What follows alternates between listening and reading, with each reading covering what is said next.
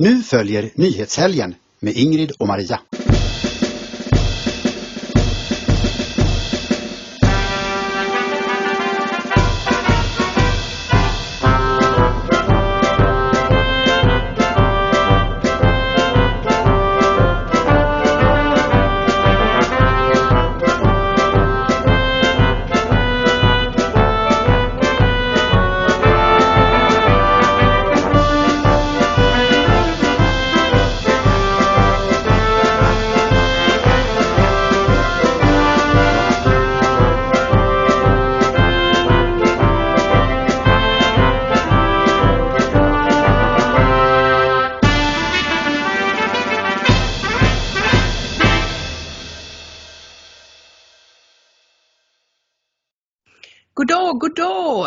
Allesammans! Välkomna ska ni vara till Nyhetshelgen nummer 118. Jag heter Maria Selander, med mig som alltid min vän och kollega Ingrid Karlqvist. Här är jag. Eh, ja, landsförräderiet är ju då vår huvudrubrik och jag tror att de flesta av våra tittare och lyssnare kan föreställa sig vad det rör sig om. Mm. Men som en liten ledtråd så har vi ju Björn Ranelid på bilden för han skrev ett rasande inlägg på Facebook i helgen. Mm. Där han tar bladet från mun och säger precis som det att våra politiker har begått landsförräderi mot Sverige och det svenska folket.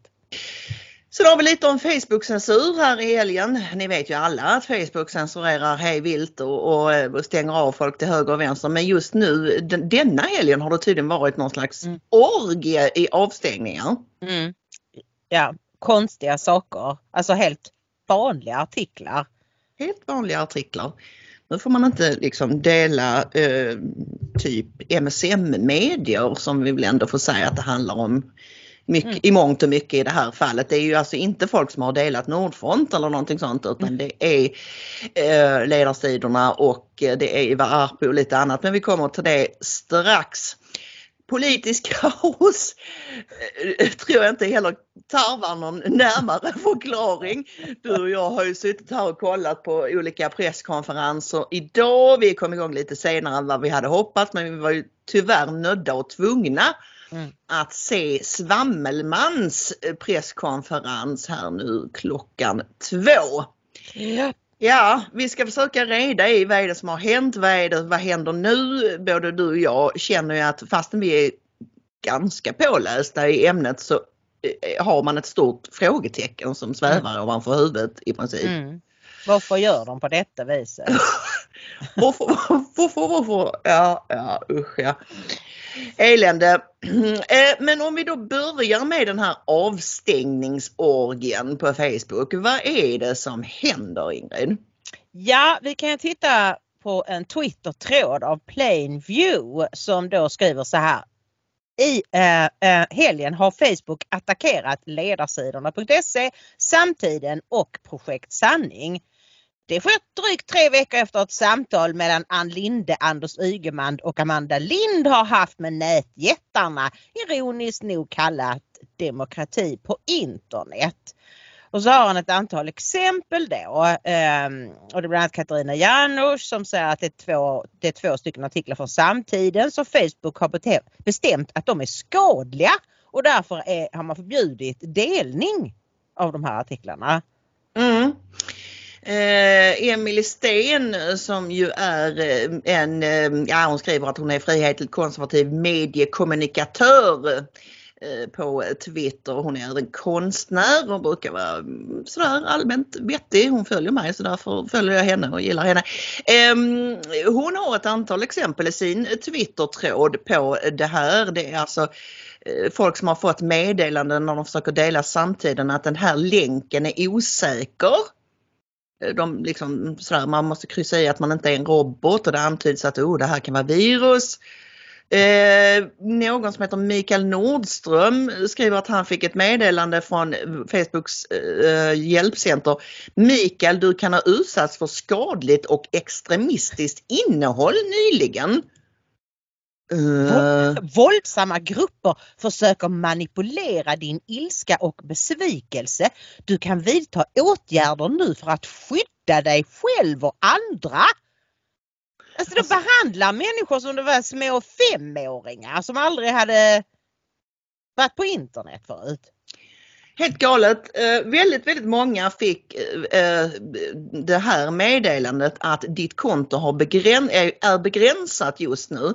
Du har begränsats tillfälligt från att dela länkar till idag 17.16 och då det var det 24 timmar vad jag begriper. Och vad är det då som har varit det, det här alldeles fruktansvärda som extremistiska innehållet som eh, Facebook inte gillar? Ja, det var bland annat en krönika av Ivar Arpi Mm. som handlade om att handlade om det här stöket på Strandvägen mm. eh, som har bevakats i all mainstream media och Ivars tagning på det hela var bara helt enkelt att svenskarna är så konflikträdda att i sådana situationer där vi, där vi liksom, där ett område blir stökigt och utsatt så, så tar inte vi fighten utan det vi gör är att flytta på oss. Mm. Snäll. Men du förstår ju hur illa det här är för regeringen. För de vill ju att folk ska tro att det här har hänt bara av sig självt. Det har ingenting med invandring att göra. Och det beror inte på att invandrare vissa sorters invandrare är väldigt olika svenskar. De är mm. inte alls konfliktundvikande som vi är utan de går gärna till attack. Både med ord och eh, knytnävar. Så att just det faktum att han pratar om att svenskarna knuffas ut från områden eller helt enkelt väljer att dra sig undan därför att vi vill inte ha det här stöket och människor som är aggressiva som kör för fort i sina bilar och tutar och har liksom skrällande musik på och så. Det är jättefarligt för regeringen och jag tror verkligen att det här samtalet mellan tre ministrar och de här jättarna ligger, alltså att det är förklaringen till att de mm. plötsligt eh, då attackerar sånt här.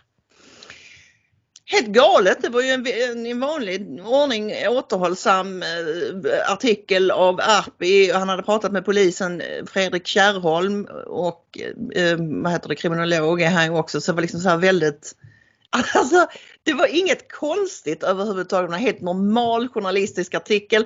Detsamma gäller då eh, Mohammed Omar, Eddie Råbock. Han hade skrivit en krönika den 3 juli i Det goda samhället med rubriken Polisen kommer och går, gängen rår. Och det var ju då apropå polismordet eh, såklart. Och det var vad jag Alltså det är inget konstigt i den här krönikan heller. Han berättar om bekanta han har som lever i sådana här utanförskapsområden så, kallat och så vidare. Och hur det fungerar, sån här klan och gängmentalitet. Jo, jo men det är just precis det att de som lugnt och sansat förklarar att det är, råder väldigt stora skillnader mellan svenskar och vissa invandrargrupper. Sätter ju fingret på det som Stefan Löfven för död och pina inte vill att fler svenskar ska komma fram till.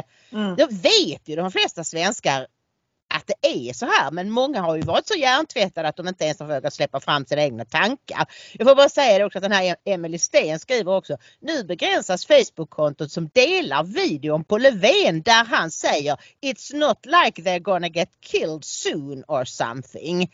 Detta är alltså från en presskonferens där han pratar om den här polismannen som dog och så fick han en fråga på engelska från mm. Radio Sweden tror jag det var. Att eh, hur, vad, Alltså vad har du för råd till de föräldrar vars barn är väldigt oroliga nu när en polis har skjutits? Och då säger han så Ja, ja men säg till dem att det är inte så som att de ska bli dödade nu snart. Och det är alltså en officiell presskonferens från mm. Rosenbad. Mm. Men den censurerar Facebook därför att det är inte, alltså han är ju inte så jättebra på engelska så att Nej. han är inte så bra på att uttrycka sig på svenska heller men det blir ännu svårare för honom när det är på engelska. Och det låter ju liksom, alltså för det första så vet vi att barn har dödats i gängkriget. Mm. Ariana, Ariana heter hon så? Ja. Adriana. Adriana ja. ja. ja. Eh, nej, det, det är helt bisarrt. Mm. Och även andra barn har, har eh, det var väl någon eh, somalisk pojke som blev skjuten av någon förlupen kula och sådär. Ja visst, visst så att det, men eh, okej, okay, så har ju Facebook och eh, Youtube även gjort med eh, klipp med Biden om jag inte missminner mig alldeles. Att de vill inte att vissa, och det kan vara från officiella presskonferenser, mm. det kan vara liksom Eh, Men det spelar ingen roll. Det, det som får de här personerna, makthavarna att framstå i dålig dager, det, det, det mörklägger de helt Ja. enkelt. Och, och, vi, är väl inte förvånade sådär egentligen men det är mest att de gör det så öppet nu och jag tänker också att i förlängningen, tror de att de gör någonting smart? Eh, det gör de nog, annars hade de inte gjort det. Men i förlängningen så riskerar de ju att göra sig själva fullständigt irrelevanta. För vem vill titta på en plattform där, där, där det bara, eller använda en plattform där det bara får förekomma bilder på mat och kattungar och alltså Mm. Det var man ju så det var från början med Facebook. Ända tills folk upptäckte att här kan man prata politik och här kan man liksom ta tag i de stora frågorna och bilda grupper och så.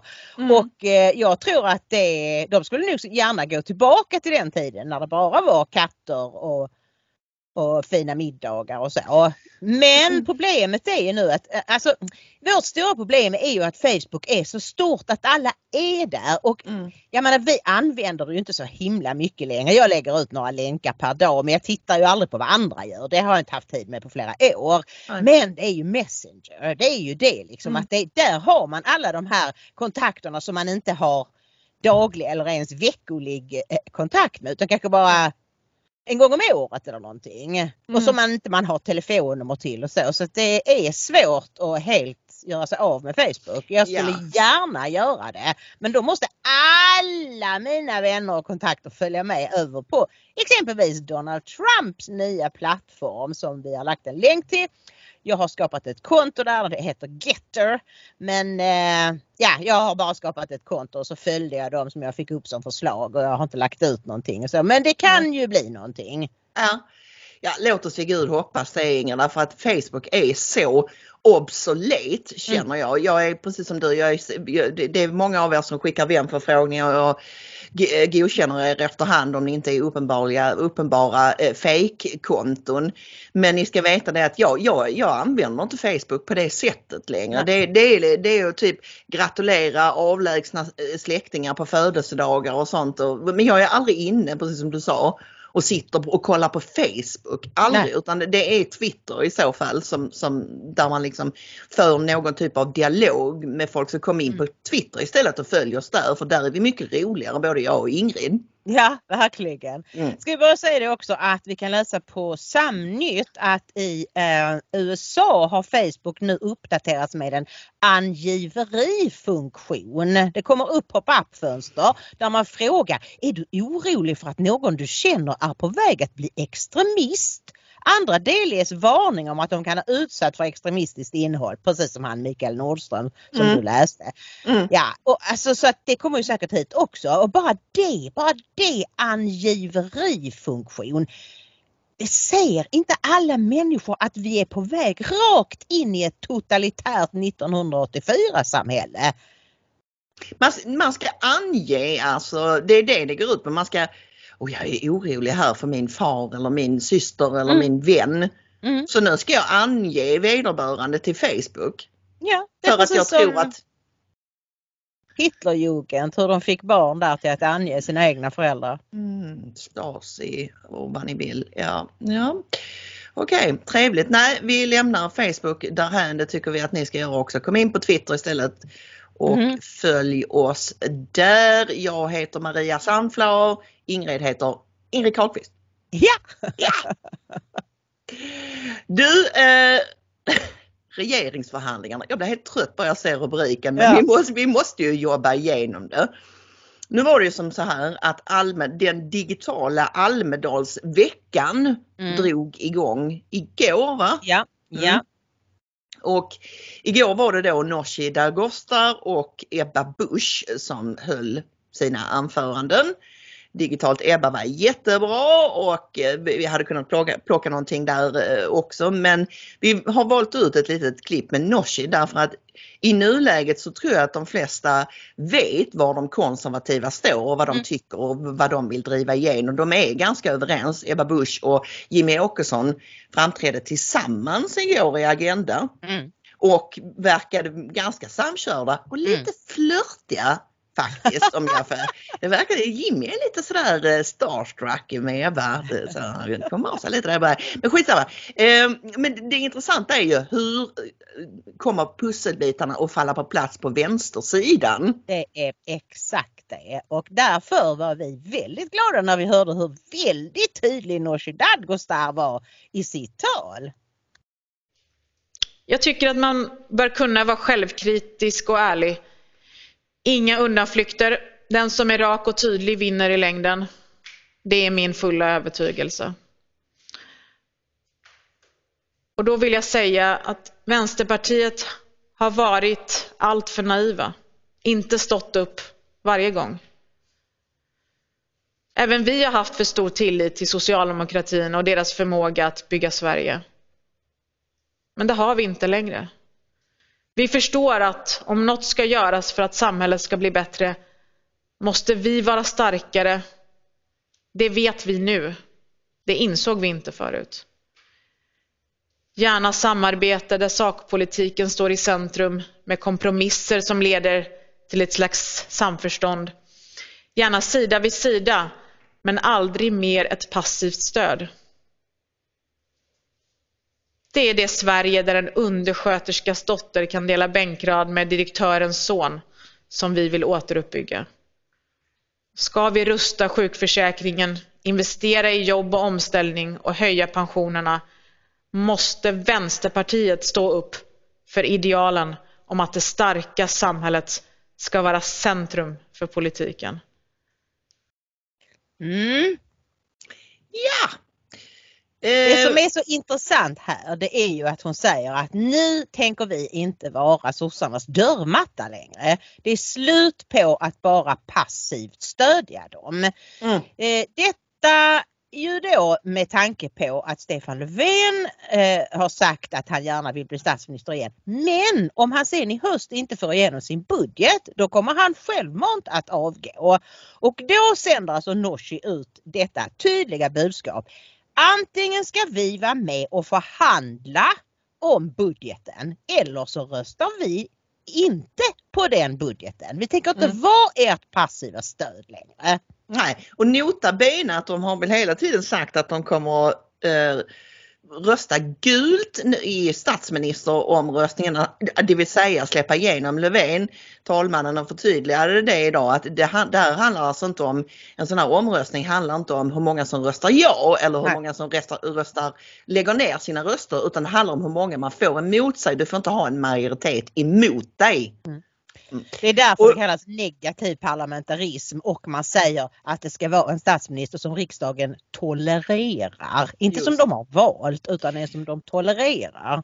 Precis, och då kan man tycka att det är lite ologiskt i nuvarande läge att uppenbarligen Vänsterpartiet och, och Nooshi Dadgostar ändå tänker släppa fram Löfven eh, utan några löften om inflytande i budgeten. Men om jag tolkade henne rätt, för hon var också med i Agenda igår, så menade väl hon ungefär på att det är hans huvudvärk, inte min. Eh, och eh, så att de, de, de, kommer att släppa igenom honom då men de kommer inte, eh, upprepade hon också i Agenda, de, de kommer inte att rösta på en S-budget som de inte har varit med och förhandlat och som då stöds av Centerpartiet för det är ju det som är Annie Lööfs våta dröm är uppenbarligen någon slags egentligen centerbudget med stöd av S men eh, som hon det. Men, finns, finns många som har påpekat det. Eh, och därför så var vi ju alla väldigt nyfikna på vad Annie Lööf skulle säga idag. För nu hade ju Nooshi sagt att om inte vi får förhandla budgeten så tänker vi inte rösta för den. Och Annie Lööf har ju varit stenhård. Nej, vi här förhandlas inte med Vänsterpartiet. Och hon kallade då till presskonferens idag eh, som var ganska förvirrad. Men Mm. naturligtvis började det med att hon framhöll sig själv. Hon är ju en sån klockren narcissist så jag tror aldrig jag sett en sån uppenbar narcissist. Hon, hon liksom hyllar sig själv. I 10-15 år har Centerpartiet tagit ansvar. Antingen har de suttit i regering eller så har de gjort januariöverenskommelse. Det är ingen måtta på vilken fantastisk människa hon är och hur Nej. fantastiskt hon leder Sverige tycker hon ju typ Mm. Gör. Ja, ja, hon är en för, föregångare i, i alla avseenden om hon får säga det själv. Och sen så kommer hon då in på det här att de, Centerpartiet tänker lägga en egen budget. Mm. Mm. Det är ju det normala om man inte har någon sånt här, någon sån här gök. Mm. Eh, men eh, hon, alltså hon, det, hennes besked var nej nu drar vi oss tillbaka. Vi ska gå i konstruktiv opposition kallade hon det. Mm. Och rösta gult för Löfven, det vill Mm. säga släppa fram honom. Mm. Ja. Men när det gäller budgeten så ska de inte förhandla den. Däremot så hade hon med sig en slags överenskommelse från sina samtal med regeringen, alltså både sossarna och Miljöpartiet under helgen och det var tre Tre väldigt viktiga krav för henne. Det är det här med mindre strandskydd och lättnader för skogsägare och så någonting annat. Ja den här LAS-grejen att de, att de går vidare med det som parterna kom överens om när det Mm. gällde LAS. Eh, och men hon säger att Centerpartiet ska rösta på sin egen budget. Sen, sen fick hon fråga, ja men när den faller kommer ni då att rösta för regeringens budget? Där var hon lite oklar. Mm. Ja och, och, och kruxet är ju följande att det är ju egentligen helt ointressant om, om Centerpartiet röstar för regeringens budget om inte Vänsterpartiet gör det. Ja, Det är ju det som det är ju det som är den här fullständiga kökkenmöddingen, råttan på repet, katten på råttan och råttan på repet grejen som, som försiggår nu. Och för att för, förvirra situationen ännu mer så gick ju Miljöpartiet ut vid lunchtid idag och eh, eh, gav beskedet att de eh, säger nej till det bud Centerpartiet har lagt fram för att släppa igenom Stefan Löfven. Det bestämde de på ett extrainsatt eh, parti, eh, partistyrelsemöte. Centerpartiet offrar miljön och det kan vi aldrig acceptera, säger eh, Per Bolund. Men det intressanta är att både Annie Lööf och senare då under dagen Stefan Löfven verkar helt ignorera det här utspelet från MP. ja, alltså om jag har förstått det rätt så är det så här att de tre partierna satt i helgen och då, då, då Centerpartiet pra- fram de här tre kraven som är tagna från göken. Ja. Och så sa de så här, ja jo, ja okej, nu går vi alla hem till våra egna partier och så ser vi vad de säger. Och Centerpartiet, Annie Lööf fick ju med sig sitt parti. Så hon eh, hade då presskonferens och sa att ja och så här är det och det här är den överenskommelse vi har med regeringen. Men Miljöpartiet de fick ju nej från sitt parti. Så de sa Mm. det är ingen överenskommelse, vi har inte kommit överens om det. Och, och Stefan Löfven sa ja Alltså nej det är ingen riktig för vi sa vi skulle gå tillbaka till våra partier så det är en enda soppa. Alltså så här, jag ska läsa innantill, innantill för er från Svenska Dagbladet. Miljöpartiet säger nej till Centerpartiets bud. Det beslutade partistyrelsen på förmiddagen. Vi har landat i att vi inte kan ställa upp på de krav som C ställt när det kommer till strandskyddet och skogen. Vi tänker inte förhandla bort skydd av naturen och allemansrätten säger Per Bolund. Förslagen som Centerpartiet vill ha igenom var en del av januariavtalet men enligt Per Bolund går det nya budet betydligt längre än det tidigare avtalet. Både när det gäller strandskyddet och skogen fanns det en balans i januariavtalet. Den har Centerpartiet plockat bort. När det gäller skogen har man bara plockat ut produktionen och offrat miljön. Samma sak när det gäller strandskyddet. Där det skulle vara ett ökat skydd i vissa delar av landet. Det kan vi aldrig acceptera. Så uppenbarligen så tror både Svanlis och Annie att de har en deal med Miljöpartiet som de inte har då. Ja, så kan man säga. Och Stefan Löfvens, eh, han, han tror ju då att han ska lösa detta sen. Mm, Visserligen så de, de två partier han står närmast de hatar varandra, vill helt olika saker och han ska fortsätta regera med Miljöpartiet men det är ändå Centern som ska få igenom sitt och detta tror han att han ska fixa på något sätt. Och jag vill bara säga om detta, jag vet inte alls vad det här med strandskydd och skogsägare, vad det går ut på. Det har jag inte hunnit sätta mig in i. Men det intressanta är att dessa saker hade Annie Lööf kunnat få om hon hade röstat på Kristersson. Om hon hade sagt vi ska rösta på dig så att han hade kunnat eh, gå fram i kammaren. Mm. Och för de var, det var en massa viktiga centerfrågor som Moderaterna lämnade över och sa det här och det här och det här får ni. Och bland annat fanns då det här med strandskyddet och skogsägarna eh, med. Mm. Så- I deras erbjudande. Det sa Ja. nej till. Ja. Därför att de äckliga Sverigedemokraterna skulle rösta på det också. Och de kan inte befinna sig i närheten av dem. Hon får nazibaciller. Eh, men nu är de så himla viktiga så att hon tvingar eh, Socialdemokraterna att eh, ha ett, ett jättekrig med Miljöpartiet om de här Mm. frågorna. Mm. Så, så det hon har lyckats med är, med andra ord att, att försätta eh, Socialdemokraterna i konflikt med både Miljöpartiet och Vänsterpartiet. Ja! Och hur nu Vänsterpartiet kommer att reagera på allt detta. För som sagt i, på sin egen presskonferens sa Stefan Löfven mycket tydligt. Det är bara regeringspartierna som kommer att förhandla budgeten och lägga fram den. Så vi kan fråga, ja men Centerpartiet nej, ja men Vänsterpartiet de har ju sagt nej.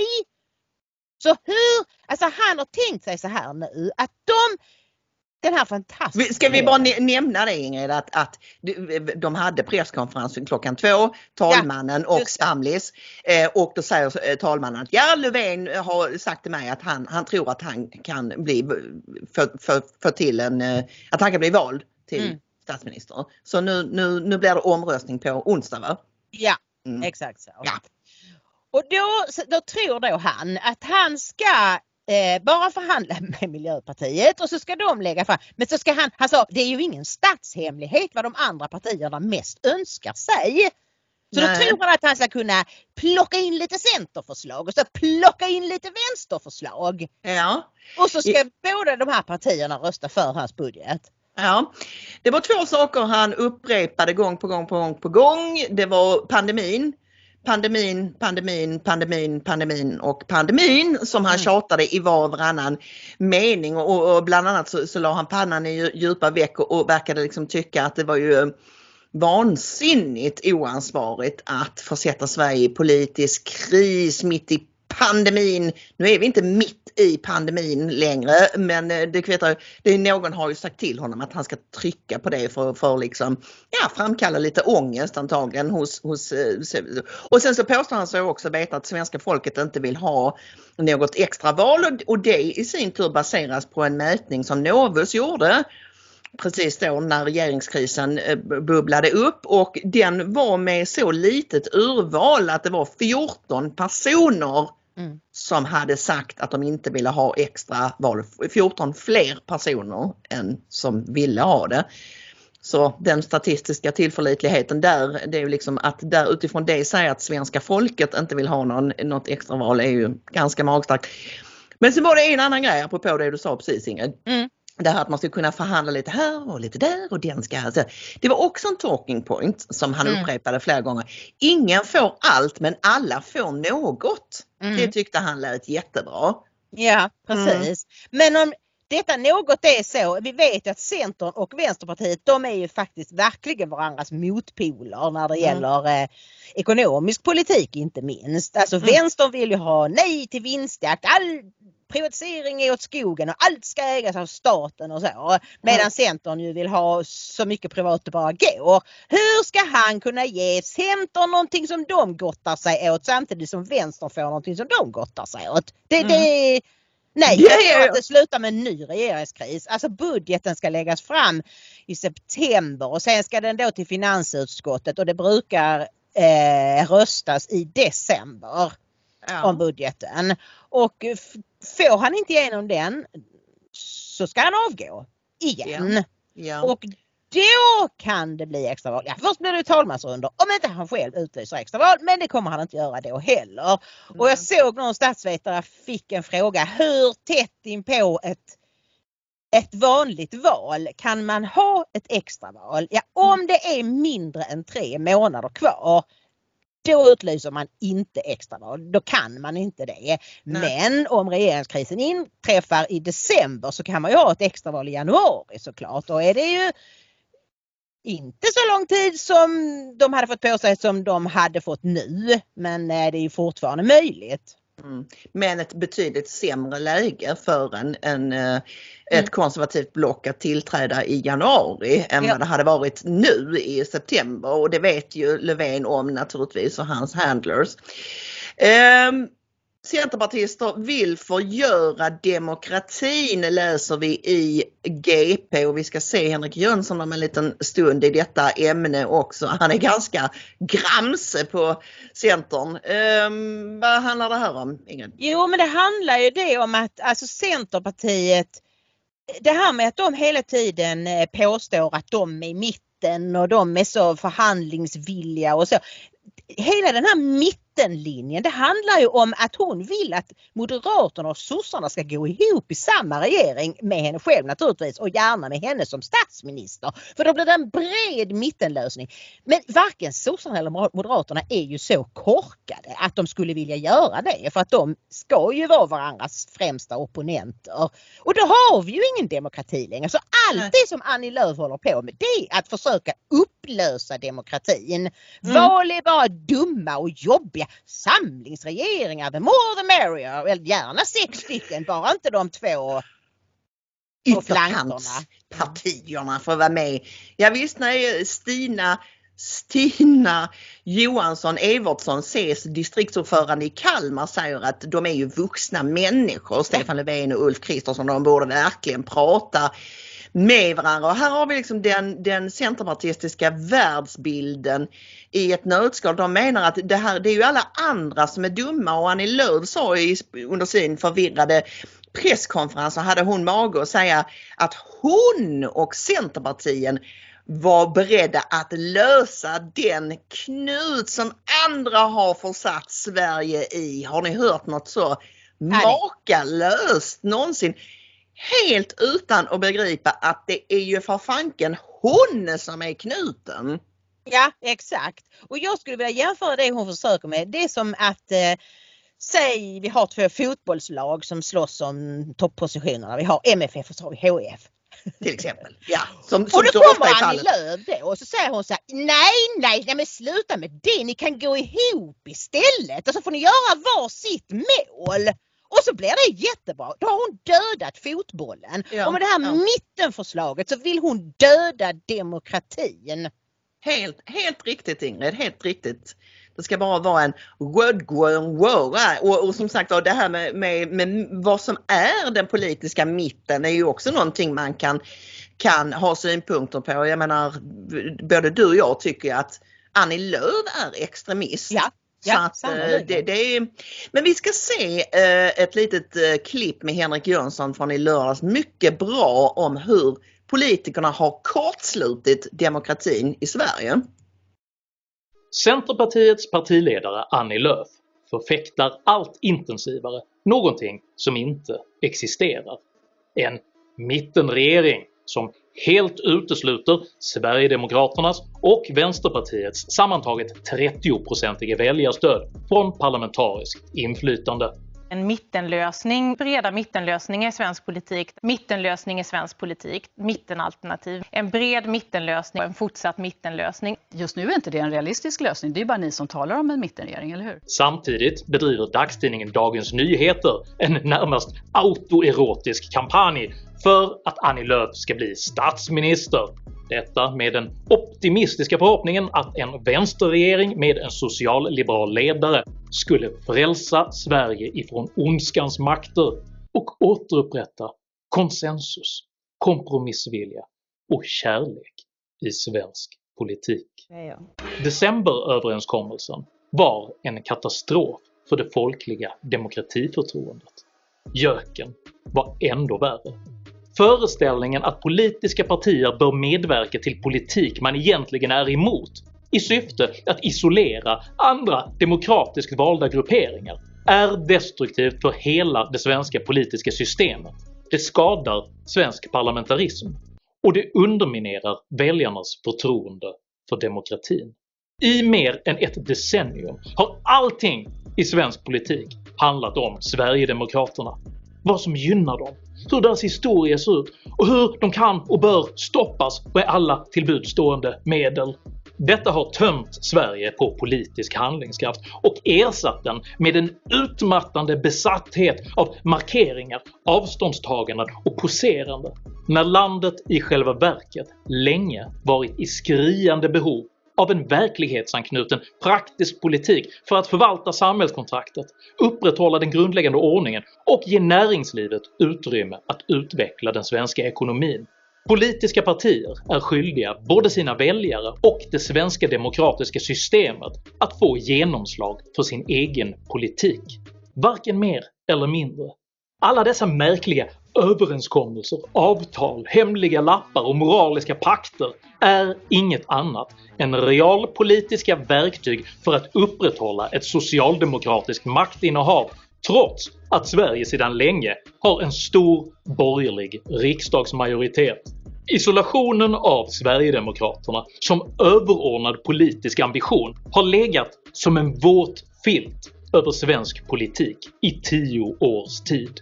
So this is what having the weight of the world on you is like, eh? Väljare som sett sina partier överge sin egen politik för att istället vara del av denna filt har drivits ut mot de politiska flankerna. Socialdemokraternas väljare har gått till Vänsterpartiet.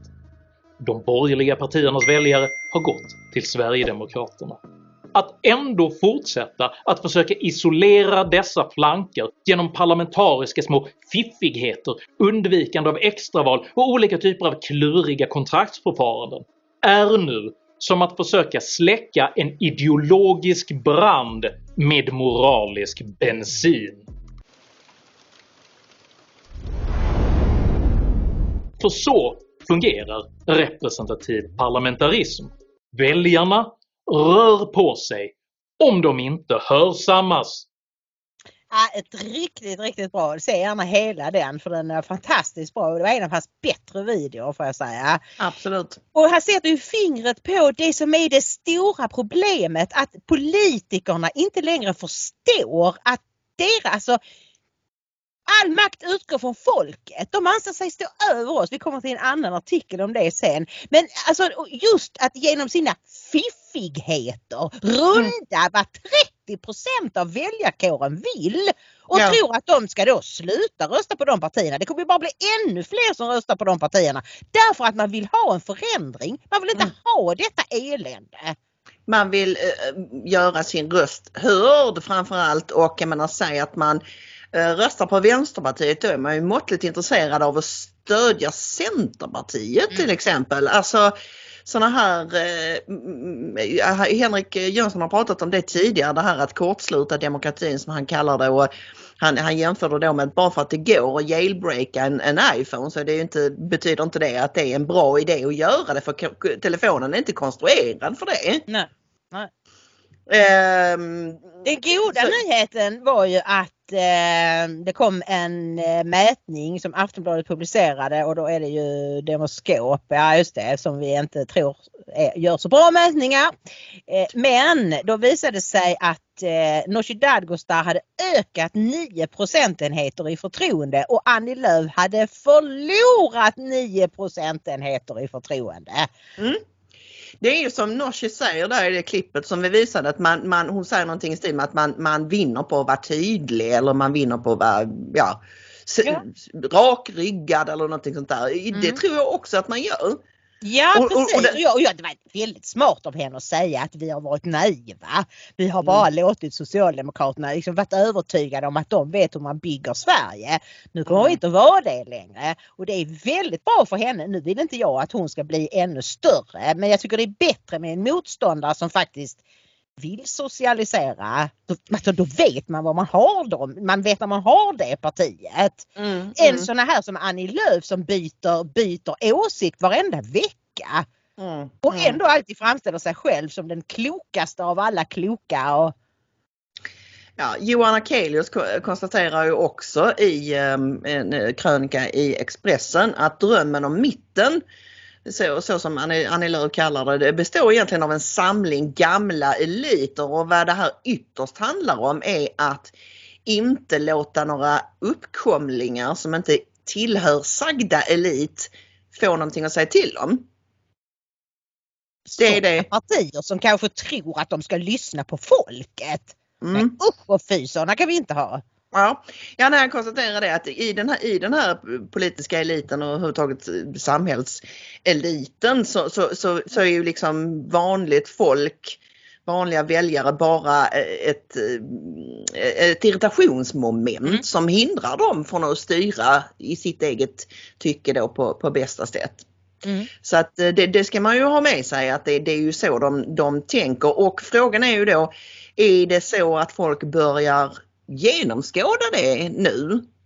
Och, och Henrik Jönsson är ju också inne på det att han säger att den här typen av agerande driver ut folk på flankerna. Är det så att folk tänker, alltså de vänstersinnade går till Vänsterpartiet, de högersinnade går till SD för att de börjar genomskåda att i princip övriga snackar bara en massa skit i stort sett. Precis, och vi ser ju det dagligen folk som inte litar på Moderaterna och Kristdemokraterna därför Mm. att de ju tidigare har tyckt att allt som SD sa var jättedåligt och så.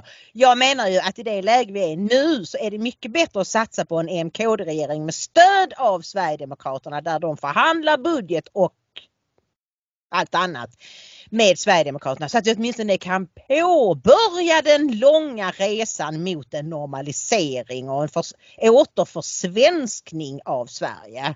Mm, mm. Ja, eh, ska vi gå vidare då till landsförräderiet Ingrid? Om du börjar med att sammanfatta det som utlöste hela den här eh, kalabaliken, får jag väl säga, nämligen eh, Björn Ranelids Facebook-inlägg. Vad skrev Ranelid som var så förg- förgripligt eller vad säger man? Ja, nej men han skriver så här, det börjar så här. Landsförrädare. Många svenska politiker har blod på sina händer och de förråder Sverige och bereder väg för mördare, parasiter och fiender till kärlek, godhet och alla som vill leva i tillit och respekt för medmänniskan. Ja, jag menar exakt vad jag skriver här och, och jag är därmed inte elak och jag begår inte våld på just det svenska verbet att förråda. Jag har inte importerat detsamma utan det är fött och brukat sedan länge i mitt fosterland som jag älskar och vördar i oräkneliga sammanhang. Sverige behöver inga höghastighetståg som kostar 200 miljarder kronor. Sverige behöver den snabbaste och bästa vägen till lag och ordning, fred och frid för barn och alla människor som sköter sig, studerar, arbetar, betalar skatt och som aktar sin nästa. Sen får du fortsätta. Mm.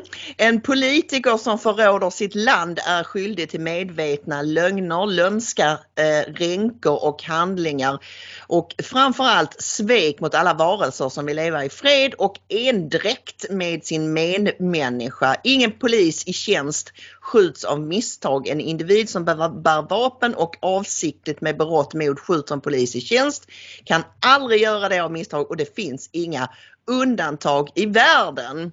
Ja, han Ja. fortsätter i, i samma anda men ni, ni fattar att han menar ju på att p- politikerna har begått landsförräderi helt enkelt mot Sverige, har, har sålt ut landet, har svikit oss. Det är väl Mm. liksom det är, och det har han helt rätt i. Och Björn Ranelid är naturligtvis inte den första människa som har sagt detta.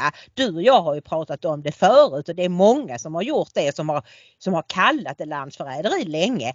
Men han är den första inom etablissemanget som tar detta mycket allvarliga ord i sin mun. Mm. Och, jag, och då, då betyder det någonting. Alltså det är en sak att säga ja de där är AFS och de där är SD, landsförräderi, vad är det för dumheter och så va. Mm. Men han, alltså det är ju helt rätt. Ja, och det intressanta är att eh, Ranelids Facebookinlägg var ett av dem som man kunde få strikes på Facebook för att dela. Men trots det så ser jag att nu i talande stund så det, har han fått 3600 kommentarer och 32 000 delningar på detta inlägget och detta fastän Facebook har försökt begränsa det. Alltså, Ja precis. Han har inte fått någon strike att han ska ta bort det men det var förbjudet att dela det. Men trots Mm. det så har 32 000 personer delat det.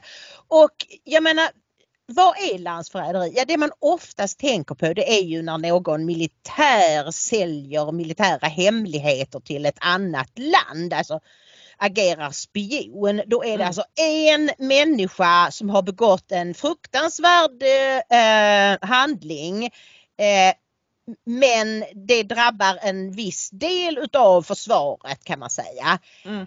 I det här fallet har vi att göra med hundratals politiker, tusentals politiker som under flera decennier med berått mod har förvandlat det trygga, homogena, ombonade, eh, kärleksfulla Sverige till ett mångkulturellt kriminellt helvete där Mm. Barn skjuts på gatan, där kvinnor gruppvåldtas, där, där pojkar blir misshandlade och pissade på och rånade. Alltså det, är, det kan inte finnas ett större landsförräderi än det här. Nej, nej. Det kan inte ha hänt någon gång i världshistorien att ett lands regeringar har gjort så mot sitt eget folk. Mm. Nej, jag instämmer naturligtvis. Men vad tycker då eh, etablissemanget om, om Ranelids eh, inlägg Ingrid? Det, det landar inte så bra där hos en sån som Sydsvenskans Olle Lunnéus, Rickard Rättrådig himself. Ja precis, Ja. han är ju en oh, Men han skrev i alla så här. Är Ranelids Facebook-konto kapat? Eller vad är det här för pajasinlägg? Och Vilken vilken osammanhäng- osammanhängande smörja. Mm. Ja, ja, ja, ja, ja, precis.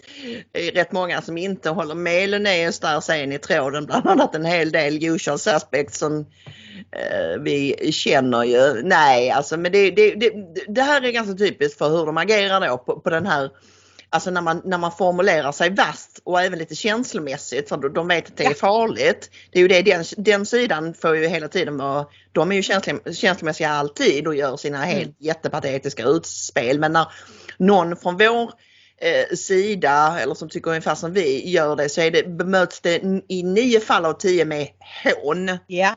Det Ja. är deras metod för Mm. liksom, åh gud vilken idiot, åh, vilken paj alltså. Just Trots den. att det är just Ranelids känslighet som har, som har skapat hans berömmelse. Mm. Att han har skrivit dikter som ibland är på gränsen till pekoral. Mm. Men han framför det med sånt hjärta man förstår att han verkligen menar det. Och det har ju gjort honom berömd och väldigt Ja. älskad. Många, många älskar ju hans adjektivförgiftade Mm. romaner. Mm. Men nu då när han är känslosam om Sverige. Mm. Nu är det, inte, är, det är inte så populärt. Nej, nej precis. exakt. Bär ditt barn som den sista droppen vatten. Ingrid. Ja. Eh, herregud, ja där fick vi in lite Ranelid eh, imitationer också. Nej, nej men alltså det är ju för att de vill, de, de, de, de vill för djur jävlar inte att vi vi har ju pratat om det i podden vid flera till, tidigare tillfällen att vi måste använda våra känslor mer än vad vi gör. Vi, vi ska inte tro att vi kommer att komma någon vart om vi inte vänder oss till människors känslor och, och gör dem upprörda, arga, glada, hoppfulla, uppgivna, vilket vi vill. Men alltså röra upp känslor och det vet den andra sidan. Mm. De är rädda för att vi ska hitta den liksom känslonyckeln och en sån person som är så ändå välformulerad som Ranelid, han är ju naturligtvis livsfarlig. ja, ja, naturligtvis. naturligtvis. Och han, det har ni kanske lagt märke till att han får inte skriva krönikor i några tidningar längre.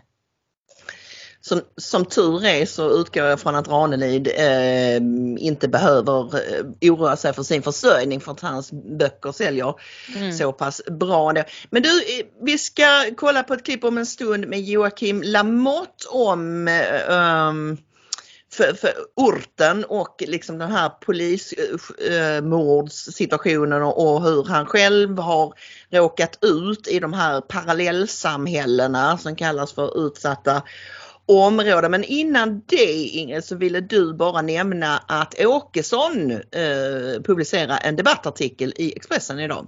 Ja, och det var väldigt skönt att läsa den just idag. Rubriken är Jimmy Åkesson kolon Massinvandringen har förstört vårt land.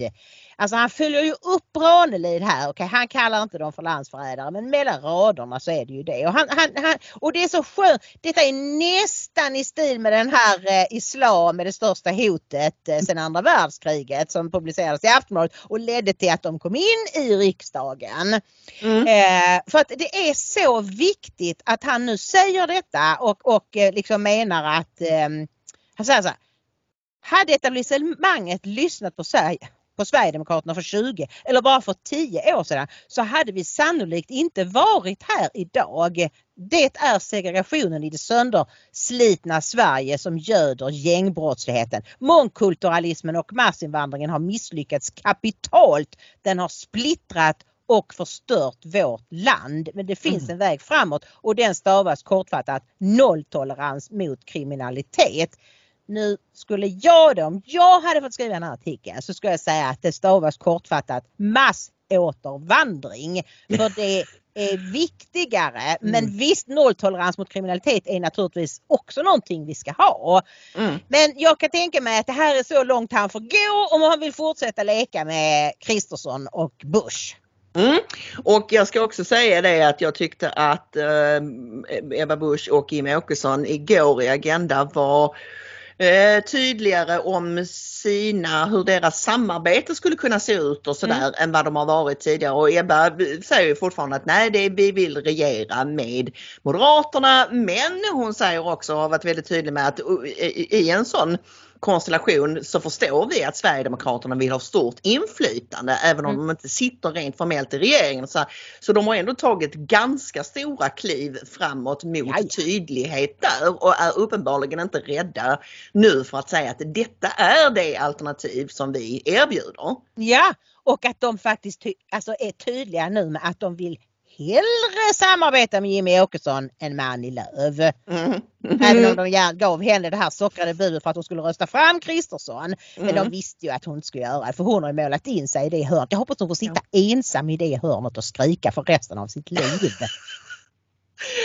Vi ska se ett litet, eller snarare lyssna på ett litet klipp med Joakim eh, Lamotte och det är då från Bulletin, Bulletins eh, helgintervju. Mm. Eh, och han sa en massa intressanta saker men han pratade mycket om vad, vad, vad som bör göras för att, ja, kom, nu höll jag på att säga komma till bukt. Ingrid. Nej men fy! Nej, ja, förlåt, förlåt. Han Jag- säger det i intervjun. Ja, det var kanske därför. Ja. Eh, Få bukt med problemen i de här uh, krigszonerna som vi har Mm. i Sverige. Någonstans måste samhället visa vem som bestämmer. Som det är nu så är det inte polisen som bestämmer i de- här områdena. Det är de här killarna. Tyvärr. Vad borde göras? Ja, polisen, vi i samhället måste återta makten i de här områdena. Samhället, polisen måste visa att det är vi. Vi som bestämmer att vi får vara på de här ställena. Och om man motsätter sig det, det är liksom hårda straff som gäller. Bort, bort med dem från platsen, lås in dem. Bara nolltolerans, stenhårt. Är det tuffare samhälle, tuffare poliser eller fler poliser? Eller? Ja, tuffare poliser och fler poliser är väl en bra början. Som det är nu så är det för jävla mesigt. Jag hörde ju till och med poliser som stod där och bad om ursäkt för att de råkade nudda en kille som var där i närheten av mig. du vet, det var helt absurt. I tv kunde vi se polisen Ulf Boström häromdagen som vittnade om en omfattande hotverksamhet mot enskilda företagare i de här områdena som vi talar om. Han kunde inte hålla tårarna tillbaka. Hur reagerar du när du ser honom i tv? Det speglar ju den här uppgivenheten som många poliser känner. Jag pratar ju med många poliser som jobbar i de här områdena. Och det är flera poliser som säger till mig att vi tror inte att det går att lösa. Det har gått så långt så vi tror inte att det går att lösa. Och du vet man hör, man tror ju inte att det är sant. Man hör det här står alltså poliser som jobbar här dagligen och säger att de här problemen går inte att lösa. Vi- Vilka problem är det som inte går att lösa då, säger de? Den grova kriminaliteten, utpressningen, drogförsäljningen, gängbildningarna, klanbildningarna. Eh, Med de verktyg som man har idag så är det i princip omöjligt, säger de poliser som jag pratar med. Men sen är det ju väldigt få poliser som säger det utåt. Man får inte visa upp, man får inte berätta att det är så illa. Vilka verktyg är det som de skulle behöva? Fler poliser och tuffare tag. De menar det att så fort någon hotar och stör ordningen där ute så ska de kunna plocka bort dem. Kunna frihetsberöva dem. Och det, man ska inte kunna bete sig hur som helst mot en polis. Idag finns det ingen respekt mot polisen. De, de står en millimeter från poliser och kallar dem för gris, mammaknullare. De hotar dem i princip. Och det får inga konsekvenser för att poliserna har fått order att jobba lågaffektivt. Och jag förstår väl också att det, att det är bra att, ha, att kunna ha en relation med vissa människor där ute. Men det är, när man ser vad som händer och hur de här människorna behandlar ordningsmakten och även journalister så anser jag att de bara ska buntas ihop och skickas iväg. Det är, det är min personliga åsikt och det vet jag att poliserna skulle vilja också. Ja, ord och inga visor från Lamotte som vanligt och givetvis har han helt rätt. Ja och eh, det är ju det är ju sådana här sanningar som Stefan Löfven till varje pris vill att inte fler svenskar ska få klart för sig. Mm. Att hur många år har de stått och gafflat om att de ska knäcka gängen och sedan bara fortsatt med väldigt låga straff, lågaffektivt bemötande, ta in invandrare mm. i poliskåren som kan prata arabiska med dem och som kanske till och med står på deras sida och bara fortsatt tillflödet. Nu säger poliser till Lamotte och jag tror det är helt sant. Det är för sent att göra någonting åt det. Mm. Eh, det, det, tror, och, det tror inte jag, inte med, inte med återvandring är det nej, inte men det är nej. för sent om man fortsätter som nu om mm. de inte blir typ dubbelt så många poliser. Nu satt Stefan, Stefan Löfven igen idag och sa att vi har fler poliser än någonsin. Mm. Nej det har vi inte, inte per capita. Men ja, förstår du, alltså, det spelar ju ingen roll hur många poliser man lyckas få i tjänst om man inte ger dem de rätta metoderna och ser till att det ska vara nolltolerans. Står du och skriker mammaknullar till en polis så är det bara på med handbojorna och in i arresten eller kör mm. ut dig i någon skog och så får du gå tillbaka. Alltså lågaffektivt bemötande det är eh, en metod som är väldigt omdiskuterad för det första sådär rent allmänt. Men um, är det någon gång det fungerar så är det uh, gentemot människor som har olika typer av eh, neuropsykiatriska funktionshinder till exempel ja. som inte kan hantera och processa intryck på samma sätt som, som vi som är neurotypiska kan. Mm. Där kan det ha sin plats. Att använda lågaffektivt bemötande mot en eh, antisocial person som liksom håller på med sånt här aggressivt dominansbeteende. Det är rent kontraproduktivt. Ja. Och innan vi slutar idag så måste jag lyfta en kolumn av PM Nilsson som också kom här nu i, eh, den publicerades eh, i torsdags redan. Eh, men det var ju då i, i kölvattnet av den här polisskjutningen polismordet. Och då skriver eh, PM Nilsson eh, polisskjutningen är en djup politisk kris. Landet lämnas ledarlöst i vad som bör betraktas som en inre säkerhetskris och det finns en besvärande förklaring till ointresset. Och vad är då denna besvärande förklaring?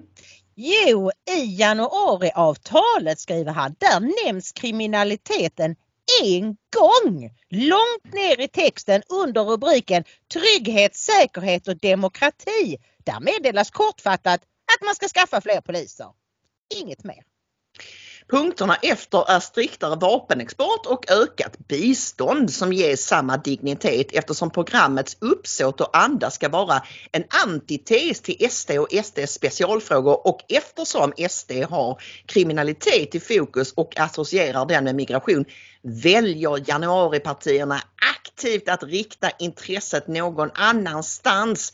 SDs analys av läget i Sverige får under inga som helst omständigheter bekräftas. Under inga som helst omständigheter Ingrid, inte ens om det är sant. Nej, framförallt inte om det är sant.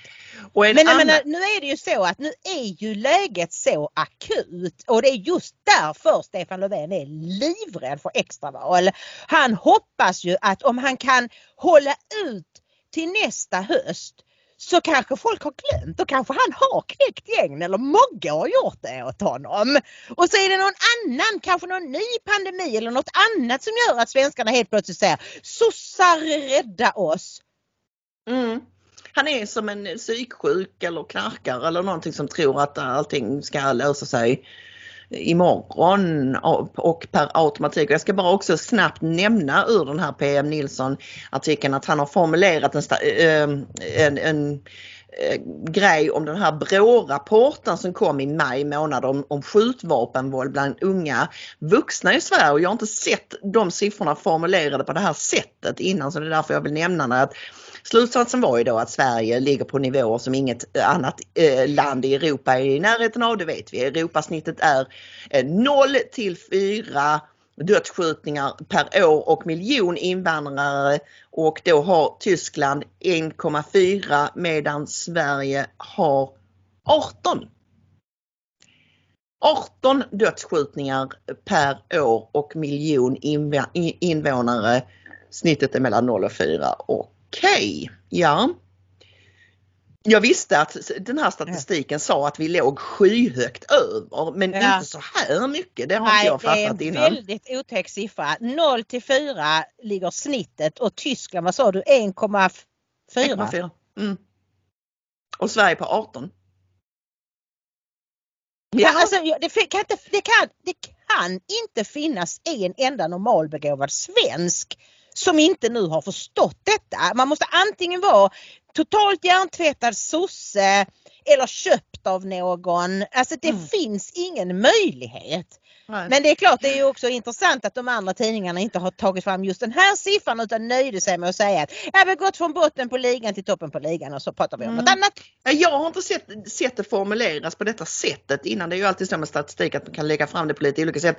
Men däremot så såg jag ju att det var väldigt många som genast satte igång och relativisera när den här undersökningen publicerades. Och då ska man komma ihåg att BRÅ är ju inte precis den myndighet som är emot regeringen eller på något sätt vill skälpa dem. Nej, nej, nej. Så att eh, om de kommer fram till sådana här chockerande resultat då är det i allra högsta grad allvar. Men du Ingrid, nu är det säckknytningsdags. Ja. Det är det. Eh, mm. och eh, gissningsvis så kommer den politiska oredan att fortsätta detta. Det kan vara så, kanske till och med troligt, att Stefan Löfven väljs på onsdag. Men det, säkert är det då verkligen inte. Någon ledamot kan eh, bli kräksjuk eller fastna i hissen eller Amineh Kakabaveh får inte igenom sina åtta punkter. Så att det, det, alltså, det, vore, det bästa vore ju om han inte väljs naturligtvis. Mm. Och nu då när Centern ändå har lämnat så kanske de kan rösta gult för Ulf Kristersson i alla fall. Inte stödja men rösta gult. Mm. Ja, ja, du tänker så. Ja, det viktigaste för dem är ju som Henrik Jönsson också konstaterade i sin eh, video att, att, att det är ju att, man kan att de kan formulera sina olika lappkast på ett sätt som gör att mm. de inte har ljugit formellt om man säger så. Även Nej. om de helt har bytt inställning så, så kan man eh, vad heter det, använda sån här kremlologi eller Orwell eh, nyspråksomskrivningar ja. som gör att eh, jo men det är ändå okej okay, den, här, den här presskonferensen med Annie Lööf idag det är bland det mest förvirrade jag har sett. Alltså, för det gick mm. nästan inte att förstå vad hon sa. Nej. För att hon, hon pratar så konstigt och så liksom så här. Mot all logik. Ja, Ja, och, och på ett sätt som, som eftersom man vet vad hon tycker så, så förstår man att orden betyder någonting helt annat för henne än vad de gör mm. för alla andra i rummet. Liksom. Det är jättekonstigt. Ja, Ingrid, om man gillar vad man ser och hör här idag, vad gör man då? På ingridomaria.se finns det uppgifter om swishnummer, bankgironummer, den fantastiska donorboxen, ni får mycket gärna bli månadsgivare och så finns den lilla media link-knappen för lite mindre belopp så att ni hjälper oss med vårt Sverigeräddande opinionsbildande arbete. Ha en underbar vecka allihop så ses och hörs vi igen på fredag. Gud välsigne er. Det gör vi. Gud välsigne er.